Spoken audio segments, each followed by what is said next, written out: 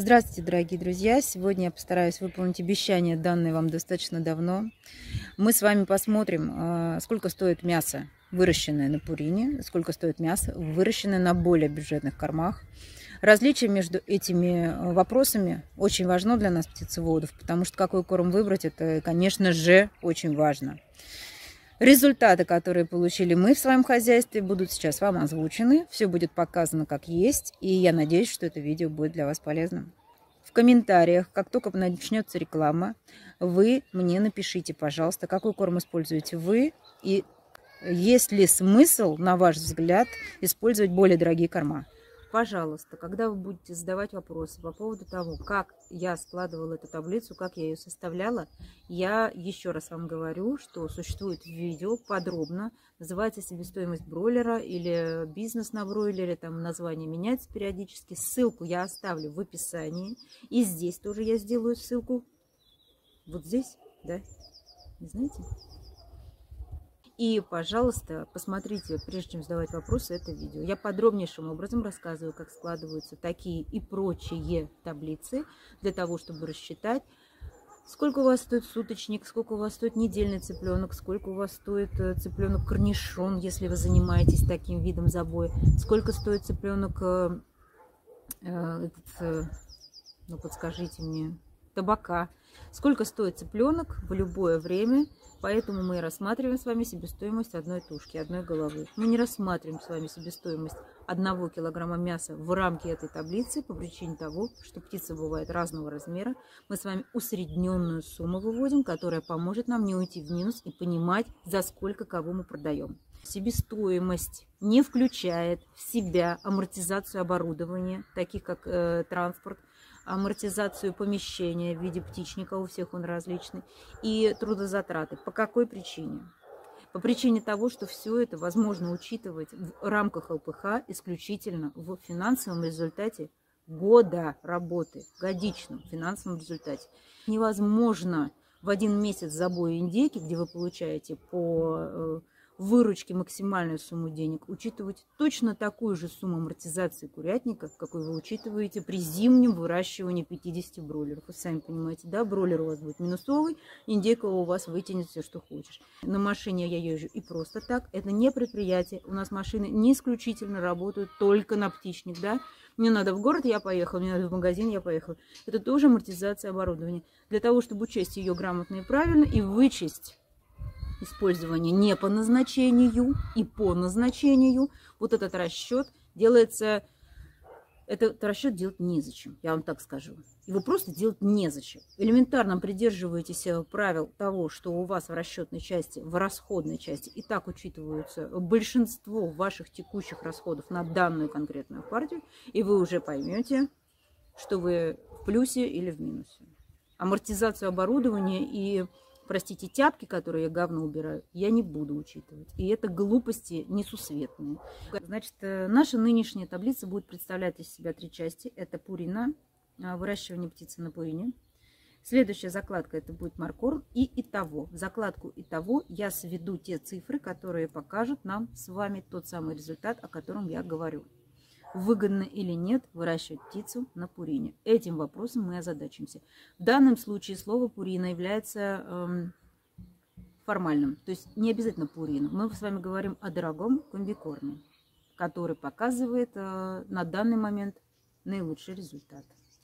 Хочу сделать небольшое превью нашему видео следующем.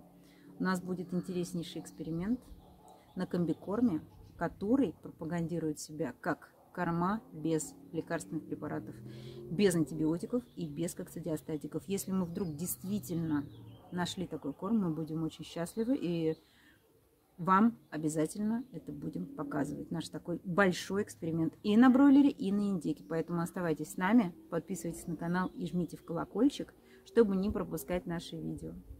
Сейчас подробнее мы с вами рассмотрим страницу Маркорм. В данном случае я возвращаюсь к этой таблице только из-за одного момента нам с вами нужно с чем-то сравнить Пурину, какие-то показатели привести в пример.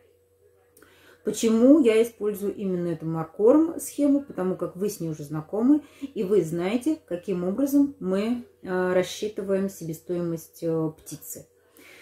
Но себестоимость птицы это одно. Нам с вами нужно высчитать сейчас чуть-чуть другую цифру.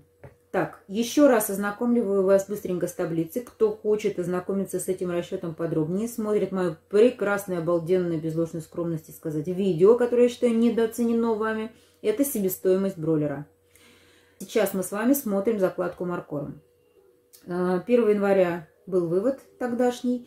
Так, смотрим в верхнюю часть. Инкубация от 1.01. Значит, э, в данной таблице, вот здесь, мы с вами рассчитываем стоимость цыпленка. Мы учитываем яйцо, учитываем цену на яйцо, перевозка, инкубация. В итоге мы заложили в инкубатор определенное количество яиц и вытащили определенное количество цыплят. Это все позволяет нам сделать э, точный расчет себестоимости цыпленка. Мы сейчас с вами говорим о себестоимости. Не о цене цыпленка, о себестоимости. Да, это разные вещи. Так, но сколько мы суточников, не суточников продали, это имело значение только на той стадии, когда мы с вами э, высчитывали и того по всей партии. Сейчас нам это не нужно, так же, как нам не нужно и не нужен падеж. По этой причине мы смотрим с вами на вот эти строки, которые а, не выделены цветом. Обращаем внимание на вот эту белую строчку. Значит, 122 головы съели маркором ПК-5.1. А, мешок в 25 килограмм и стоимость его 900 рублей. Здесь мы можем рассчитать, сколько стоит килограмм. Так как здесь расход в килограммах учтен такой же, как и мешок 25, то есть они ровно мешок съели на дату записи, точнее дата записи была сделана, как только те съели мешок, а, мы несложными вычислениями, значит, получаем, что стоимость килограмма 36 рублей. И на данной стадии, когда они съели мешок, понятное дело, что цена съеденного корма будет 900 рублей, то есть цена мешка. Но когда мы делим их на 122 головы, получаем 7 рублей. Вот эта цифра, 7 рублей 38 копеек, нам нужна сейчас. Задача какая у нас? Мы с вами складываем эту, э, эти цифры согласно э, наименованию корма мы собираем эту информацию в таблицу итого. Я вам показываю, значит, вот здесь. А такая табличка упрощенная. Здесь будет маркорм, здесь будет пурина, чтобы все сравнить. Мы знаем, сколько съела корма птица одна а, в рублях. Значит, зная цену комбикорма, мы высчитываем, сколько она съела в весовых показателях. Ну, просто интересно, сколько же птица потребила до забоя от первого дня до забоя на том и другом корме, да? Значит, 200 грамм она съела ПК 5,1 маркорм. Маркорм 5,2. Мы видим 27 рублей 72 копейки. Прибавляем 18 рублей 48 копеек. И 5,2 на этом заканчивается. Это на одну голову еще раз. Сумма будет 46 рублей 20 копеек. И на этом месте снова же такой же расчет. Цену мы с вами знаем комбикорма, и поэтому получается, что килограмм 358 грамм съела одна птица ПК-5,2. Следующая стадия. Мы смотрим на 6 ПК-6,1. ПК-6,1. Раз цена корма, съеденного птичкой. 1, 2, 3 и 4. Все 4 выделяем. Получаем 93,44. 93,44 мы заносим в сумму. И зная цену пока 6,1, мы с вами высчитываем, сколько съела в весе. А, и 6,2, соответственно, та же самая схема. Еще раз я вам покажу, чтобы уже удостовериться, что вы понимаете, что я складываю, да? Вот оно до конца 6,1. Это вот эта цифра. И, ой, 6,2, простите. И 6,2 вот эта цифра. Вместе они у нас дают 61 рубль 88 копеек. Внесли сюда рассчитали, сколько вес. Вот вам, пожалуйста, цифры. Итого получается, что 7 килограмм с половиной съела птица маркорм до забоя. И э, сумму, которую она нам обошлась по корму, по корму, подчеркиваю, это 208 рублей 90 копеек. Только эта цифра нам сейчас и нужна. В таблице вы можете увидеть и другую информацию. Итак, мы с вами посмотрим сейчас таблицу Пурина. Здесь указан финансовый результат по этой партии, а не совсем только те цифры, которые нам нужны для нашего видео. Поэтому я вкратце пробегусь по результату э, партии Пурина в нашем доходе. Цыпленок здесь стоил 40 рублей 18 копеек. В данном случае при расчете себестоимости, дабы сравнить его с предыдущим результатом, я учла 47 рублей 07 копеек. Это так, как цыпленок стоил на моркови. Поэтому учтем здесь, что я еще по 7 рублей с каждой курицы зажала. Вот. Ну и потери зато здесь будут чуть ниже на 7 рублей меньше, чем при расчете по 40 рублей за цыпленка. Так, здесь вы увидите в этой части таблицы это стоимость и вес съеденного корма. А, здесь продажа суточных цыплят, недельных и так далее. Вот это всего яйца. Это, в принципе, вам не нужно. И не, я думаю, что, наверное, не интересно. А может быть, даже и не совсем точно. Вот. Но мы не будем учитывать этот момент. Мы с вами рассчитаем, сколько стоит себестоимость тушки к забою. Вот. А, сразу оговорюсь, что а, данная таблица построена абсолютно по тому же самому принципу, что и расчет себестоимости. То есть здесь указано на конкретную дату съеденное количество корма и на конкретное количество голов. Как только у нас кто-то выпадает, у нас идет синяя строка с подсчетом себестоимости тушки для того, чтобы высчитать потери, связанные с ее потерей, падежом. Вот. Цифра, которая вот здесь указана, 370 рублей, 634 рубля, это та цифра, которую я специально ввожу как бы в нашу выручку, потому что это та тушка, которую мы съели. Так, здесь, соответственно, количество у нас меняется согласно падежам. Падеж на Пурине был. Мы делали по этому поводу тоже отдельное видео, где показывали вам и сердечников, и водяночников, и так далее. Падеж был в данном случае, ну, так скажем, мы считаем, что в пределах нормы, то есть это у нас 16% здесь вышло. И к итого подсчету вышло, что 242 а, рубля птица стоит на Пурине на 46 день. Почему в данном случае, в данной таблице мы начали видеть птицу раньше? Все мы люди, и волею судеб мне нужно было начинать бить птицу раньше и потрошить ее раньше, потому что у меня были объективные обстоятельства, по которым я должна была уехать.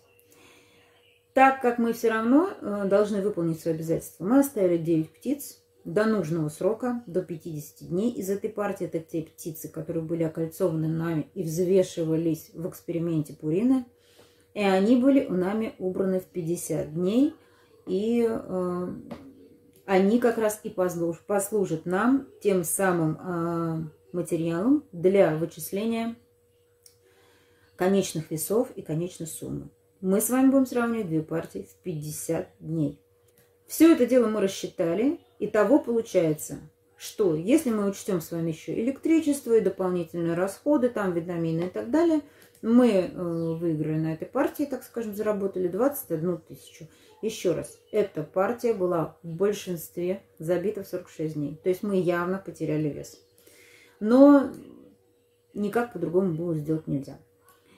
Поэтому мы берем с вами результаты сейчас при рассмотрении а, только то, ту информацию, которая нам нужна. Снова же мы с вами собираем информацию по тому вопросу, сколько птица съела, каждая одна голова, дошедшая до забоя, старта, роста и финиша в отдельности. Считаем от суммы, отталкиваясь, которая у нас уже есть. Значит, Пурина старт 3,93 плюс 10,19. Это съела каждая голова, в данном случае из 106 голов, на один клюв. Итого будет 14-12. Смотрим в итого таблицу 14-12. Мы заносим в строчку старт и высчитываем, зная цену старта, Пуриновского сколько у нас в весе съела птица. Это несложно. Следующая схема такая же. Рост здесь 8,96, потом 18,45, 46,12, да, и 3,69. А в общей сложности 77,21. В того пишем 77,21. Это 2 килограмма, 0,32 грамма. Это гроуэр. Дальше мы смотрим с вами финиш. Но финиш мы смотрим не той птицы, которая была убрана в 46 дней, а доводим эту цифру до конечных 50 дней. То есть остальные дни а, были докормлены вот эти 9 штук, а все равно на голову это расчет идет одинаковый. И складываем, значит, а, смотрим финиш. Вот здесь он у нас начинается. 8,25, 24,76, 8,76, 17,53. Видите, это финиш. И 28,33. Дальше продолжается учет финиша 56 рублей 67 копеек. Вот такие вот цифры у нас получились по корму а, Пурина Финиш. Это 144,30. Итого 144,30 мы делим на цену финиша, финишера и получаем того 4 килограмма с лишним. Итак, сколько же у нас получилось с вами э, корма в весе и в цене? Вот так. 6 килограмм 600 грамм съела птица на пурины до забоя. Надеюсь, вы поняли, как это было все рассчитано. А по сумме это 2, 235 рублей. 235 рублей. Вы видите, да, что птица на пурине стоит дороже. Да? Но мы хотим не узнать, сколько стоит голова, а сколько стоит килограмм мяса нашей птицы, выращиваемой на маркорме и. И вот здесь есть, ребят, небольшая тонкость. А, так как мы с вами рассчитываем только корм, стоимость корма и в данном случае объем корма, который потребила птица, мы с вами не учитываем количество падежа. Да? Какой падеж у вас будет на одном корме и какой на другом корме. Учесть этого нельзя, не попробовав все корма. Сейчас мы говорим только о ценовой политике корма. Поэтому исключительно рассматриваем стоимость тушки, которая э, у нас получилась и того за 50 дней. Поэтому без учета падежей и других потерь мы с вами смотрим, сколько весили в среднем тушки в 50 дней забойный вес какой у нас был. Сколько мы получили мяса. Среднюю арифметическую цифру будем считать, то есть сложим все, что пошли в забой в 50 дней, и разделим на их количество. Да? Здесь маркормия, я уже это дело сделала. Вот мы сложили по нашему заказу, я писала конкретно для вас каждый-каждый вес, но я вообще, в принципе, фиксирую такие вещи. Мы все это сложили и получили средний вес 2 килограмма 100 Э, 12 грамм. А столько весит тушка, э, если ее кормить маркормом до 50 дня. И э, съест она на 208 рублей 89 копеек. Вот того так и получилось. 208 рублей, а, ну 90 копеек, без мелкого. И тогда из расчета стоимости одной тушки – мы с вами можем высчитать, что в среднем килограмм мяса нам обошелся в 98 рублей. Мы его вырастили за эти деньги. А, точно так же делаем на пурине, но только учит, учитываем один момент, немаловажный. В данном случае, смотрите, какая ситуация.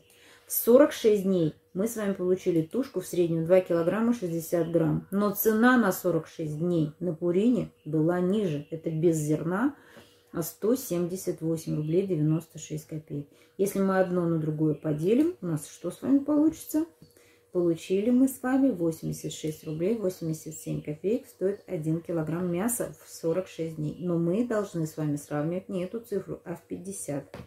До 50 дня докормили, значит, птицу. А пурины также дальше у нас были, была выкормка зерном. Зерно мы с вами не учитываем. И вот что мы в итоге получили. Вот такие веса. Вот эти 9 тушек я вам показываю. 2 килограмма 641 грамм в среднем это каждая тушка весила.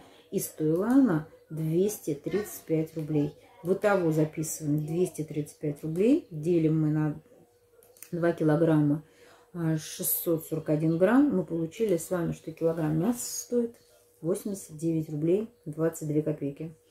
Вот в этом месте я вам скажу, думайте сами, решайте сами. Потому как килограмм мяса на более дорогом комбикорме вышел быстрее и дешевле. А вывод, как всегда, остается за вами. Все, всего доброго, счастливо. Пишите комментарии, где вы нашли ошибку за мной и как, на ваш взгляд, лучше содержать птицу.